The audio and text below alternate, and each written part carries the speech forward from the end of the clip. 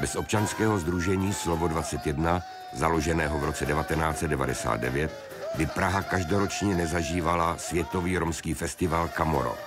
Vedle toho se združení věnuje zlepšování vztahů české majority k Romům a k cizincům. Slovo 21 vzniklo úplně náhodou. Vzniklo jako reakce na něco, co se nám hodně nelíbilo tady v České republice a to je vztah eh, vůči romské komunitě.